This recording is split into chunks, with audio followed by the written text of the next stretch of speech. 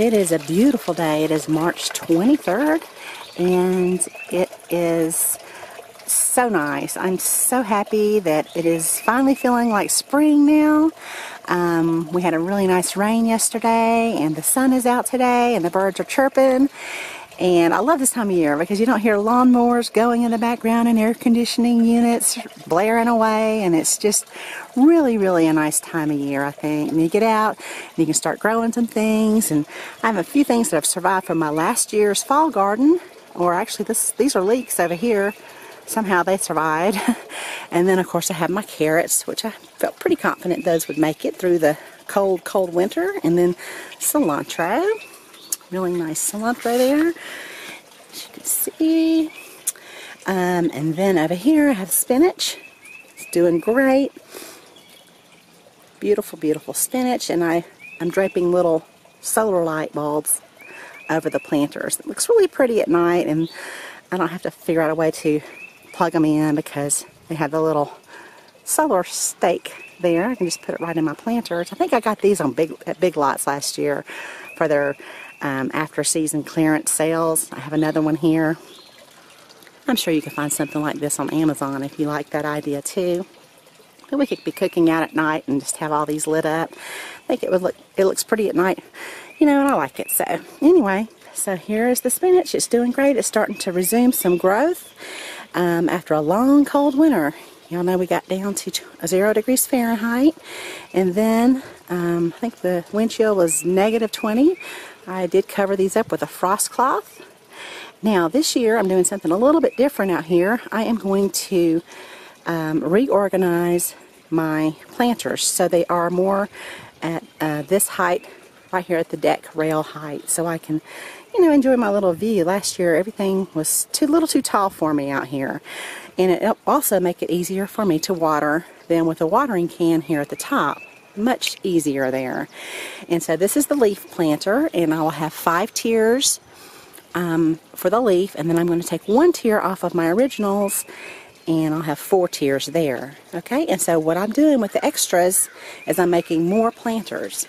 So this one um, are two of the leaf tiers.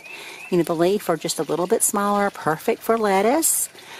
Um, and then I'm ordering a couple more water reservoirs drip trays, another tier here and there, and then of course um, these little spinners which I just love.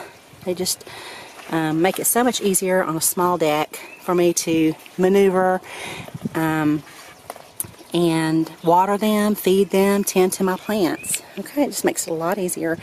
When I had my planters on my driveway, the movers were fine. That's where they don't really spin very easily. You can, like this is a mover and I didn't really need to have it in one spot like I do in a small space. So the movers were fine when I had them in my driveway, but I really like the little spinners for my deck. Okay? And they have a great sale going on right now. So um, I shared that on my community tab. Uh, I'll let you guys know there was a sale. So I think it goes through March 27th. And it's real unique. You don't have to buy a certain kind of product. You can mix and match what you need and possibly get a discount if you spend a certain amount. Plus, you can use my code, Rainbow Gardens, at checkout and get a discount. So, I'm an affiliate, obviously. They've sent me these products so I can grow things and show you guys how I do it. Okay? Now, over here, I have some lettuce started. These are my lettuce transplants. I like to grow the Batavia type, and um, that's also called like a summer crisp. It does great. It's just a beautiful type of lettuce to grow. I highly recommend growing Summer Crisp. I think I got my seeds at Johnny's Seeds. So um, you can check that out. They have couple different types. I also have Bibb over here in Endive. Okay, so these will go in my um, GreenStalk planter as well as that one too. It's another crisp. And then here in the middle I have broccolini, cauliflower, and uh, Chinese cabbage. Those will go in my square foot garden in the front, which I'll show you here in just a minute. So um, I've had these outside. I'm hardening them off, trying to acclimate them to uh, new temperatures. I've been doing this probably, I would say, about a month. so they are ready to get in the soil outside for sure. Scallions back there. And then over here I wanted to show off my eggs. Our little hens They're the Prairie Bluebell Eggers. That's the Hoover Hatcheries um, hybrid that lays blue eggs. And I've just ordered some more blue egg layers from the Murray uh, hatchery. And those their hybrid I think is called a blue whiting, which I've had before. They they lay beautiful eggs as well, the beautiful blue eggs. So these are the prairie bluebell eggers, and they're laying four a day for us. Right now we have five, and I just really really enjoying having fresh eggs again. We stopped for um, the chicken business for about two months there over the winter. I just raised some chicks and got rid of our older flock. Sold them, sold the older flock, and um, and just had had to buy store-bought eggs for a little while there but here we go. I've got some beautiful eggs. They're a real pretty blue color. There are um, a few in here that are olive colored so one of our little hens is popping out a little olive colored egg which is fine. And then as I showed you guys a couple of years ago in my chicken video when we collect our eggs we just put them here this little thing I keep it on the counter and before I put them into the refrigerator I'll wash them off in water that's just a tad bit warmer than the actual temperature of the egg. That's because they're porous and I don't want to put bacteria and force bacteria into the egg shell. So I always use uh, tap water that's a little bit warmer and then I put them in cartons and they go into the refrigerator until we're ready to eat them. So we've got a lot of eggs we need to start working on here. okay, and now let me show you what else I'm working on. Um, here are some seed potatoes I got from the feed and seed store. I'm chitting these indoors. Um, I just put them out here because the lighting is a little bit better. I can show you guys uh, how they look. And I just like to lay them in a single layer in indirect sunlight. In these little crates, I get these at Aldi. They usually have these setting in the aisle. Um, and so you can just pick these up when you go to Aldi or somewhere like that. And these are some potatoes I saved from last year. And I have German Butterball in here and Peter Wilcox. I'm not sure how these are going to do because as you can see, the German butter, Butterball right there are real wrinkled up. But my other ones look a little bit better. And I also have Kennebec. Now, when I go to um, plant these, I'll put one seed potato per pocket in my original planter tiers. And so I experimented last year, and if I put one of these smaller type potatoes, not the Kennebec, this does get pretty big. I'll do the Peter Wilcox or the German Butterball. And I'll put one of those per pocket. In the original tier, I'll get uh, four pounds of potatoes, at least four pounds, a little bit more. And so that'll be 20 pounds of potatoes uh, per original planter. Okay, so I'm going to pick up some more German Butterball. Uh, they don't store as, as good as the Peter Wilcox, which are the purple skin. Um, but I can eat those German Butterball up uh, pretty quick. So, um, and then I'll just pop the rest of these potatoes here that are the real big Kennebecs and one of the other little garden beds I have. Maybe the one that I have out at the river. I can just put all those out there. And I don't really cut my potatoes. Know a lot of people do.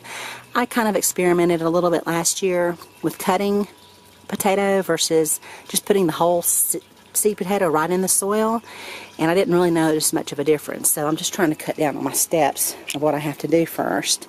I'm sure some people um, you know everybody has their own way of doing things that's just how I do it. okay so now I'm going to make some dirt I'll show you guys that and then I am going to take you to the front square foot garden. I'm going to unplug my fountain here for just a minute Okay, so now I want to make a little bit of dirt. I want to show you guys what I've been doing. I pretty much do this every day. I have my little Lomi composter out here outside today because I need to change the carbon filter in there and I haven't gotten around to it and it's smelly if you don't. So you have to make sure you keep your carbon filter changed in these things. Um, so let me get in here and I'll show you what we have. So I did a review on this um, I think in November of last year and I showed you guys how much I've been really enjoying using this. Here we have some dirt that was just, uh, this was banana peelings and tea bags and um, grapefruit rinds and all of that yesterday. So now it's this. Put our little bucket right back in here, line up my arrows.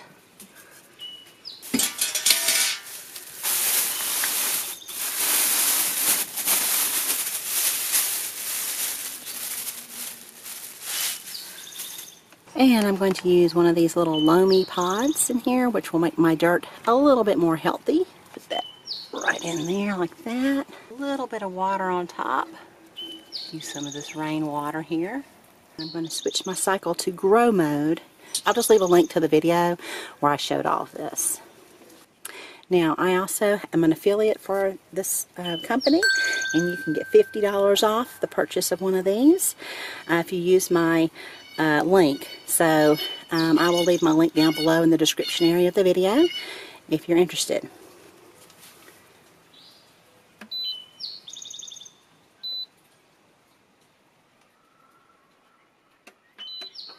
Okay, there we go. Now this obviously is not meant for the outdoors. Like I said, I'm just putting this out here until I can get my carbon filters and put them in here. I usually have this in a covered area, but I moved it out here so I could show you guys this. Um, but I just need to change my filters because I don't want it to be a little bit smelly inside the house. So it's working away. I can hear it. Now I'm going to show you my square foot garden. Okay, so here's the square foot garden. And um, since my last tour of this little garden in February, my peas are now up. So real happy about that. Um, carrots, some of those survived over here in this bed. And so that's great. I'm going to put my little transplants here. I'll put those out probably today.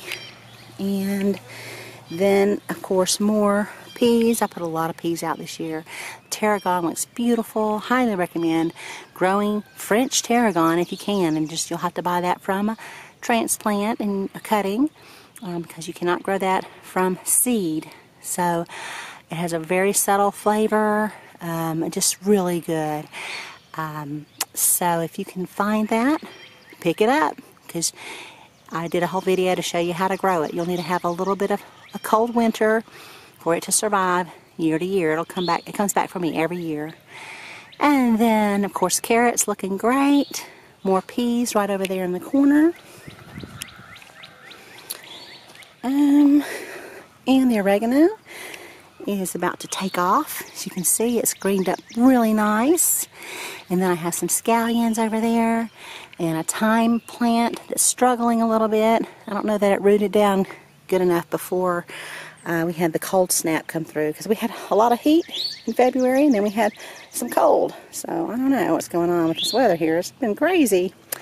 Okay, and then um, of course, my rosemary. The chives are beautiful right now. As a matter of fact, after I do this, I think for lunch I'll have some eggs with chives in it. Those are, that'll be just wonderful.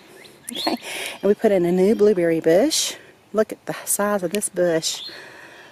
And this is a northern high bush. It'll work real well with the other blueberry bushes that I have here. And I think this is a mid-season, so it didn't bloom out for me in February like this one did this one started to bloom out. It's my early, I think this is Bluecrop. I'm not real sure. I'll have to look it up. But anyway, it bloomed out early, and I put one of the GreenStalk frost cloth over it when we had that cold snap last week. And I don't, I don't know that um, it's going to survive. Some of this still looks green on here. So I might still get an early blueberry crop. Just don't know. That's one of those real tricky crops. My apple trees did not bloom out yet, so I should have apples this year. And I showed you guys how we planted apples and did a follow-up, how we've been actually harvesting apples too. So that was fun. And then my mid-season bushes are here and here. Looks like it actually has a little bit of blooms on this one, oddly enough. Okay, over here I cut this one way back. I don't know that this is going to survive or do anything, but it was in pretty bad shape. So it was not very healthy. So that's an experiment. Don't y'all do that.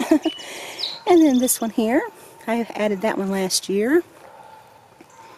And then of course this one. So those are our blueberry bushes. And I put the little shepherd's hook in the middle so I can hang a mosquito net that's made for to put over a bed.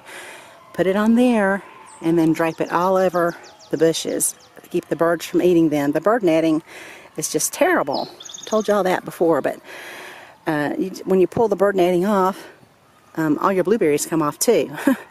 so the mosquito netting works great. Keeps the birds away, and it's very easy to work with when it's time to harvest those blueberries that you have worked so hard for. Okay?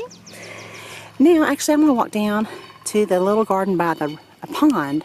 I've not shown you guys that before, I don't think. And I just throw different things down there. If I have extra seeds, I'll throw it down there. Um, I might I have extra potato seed potatoes, I'll put them down there. It's just an overflow area. It's not something I even water or pay any attention to. So let's walk down there and see what's growing.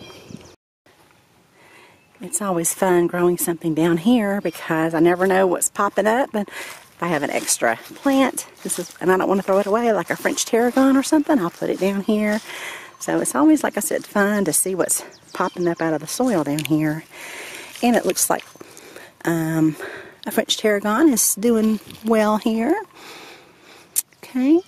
And then over here is where I dug up some of that oregano that I have in the upper garden. And I just pulled out a stem, a root, and popped it over here. And it looks like it's greening up there at the base. So that should take root. It looks like it's doing pretty good. And uh, thyme, oregano, and mint, you can all do those the same way. Just take up a little bit with some root on it, pop it in some soil, keep it watered until it roots down and you'll have a brand new plant. And I'll leave a link to that video in case you missed it. Some chives. These I used to have on my deck upstairs, but every year they just got covered up with aphids and I didn't want to throw it away. So there you have it. I have um, a nice little chive plant down here, as well as a good patch of cilantro. I just took a lot of my extra cilantro seeds that bolted toss them in the soil, and there you have it. It looks like there's some more, more tarragon back there. I may have just popped that in there. Okay. Mint is growing up all through the mulch here. This is where I used to have uh, my garden when I first moved here. This is this was my um, real main garden. It was down here. I have since took those beds and moved them up to the front and these were beds we made during COVID. I figured I needed some extra growing room when the whole COVID thing happened. it was crazy. And I'm not sure what this is here. Um, oh, radishes. I threw out some radish seeds, so I need to thin those. I don't really care for radishes, that's why they're down here. I just didn't want to throw the seeds away. Okay, and over here I planted a lot of nice things. Some garlic, um, and I lost a lot of it to the freeze. Looks like something else has been over here digging around. So anyway, I have one, looks like I have one garlic plant there. one, two, three. Something has maybe even pulled it up. What would eat garlic? Nothing likes to eat garlic. If y'all know, let me know because, I mean, it really looks like somebody has just come through here or something has come through here and just picked all the garlic out. It doesn't look like footprints to me. okay, and then over here we have shallots. These are looking great. I really just did not know if these would survive because they all just toppled over and died with the cold weather. And so it looks like I might actually have some shallots this year. That would be great. Back here, something has obviously been digging around in this bed. But like I said, this is not my main garden. I just throw stuff down here. So it's always fun if I see something growing. Had a little bit more garlic over here. And let's see. Um, more cilantro. I'm going to go ahead and get some of this because we're doing Mexican tonight. Anyway, I'll get that in just a bit. But there you go. That's what's growing in March here in western North Carolina.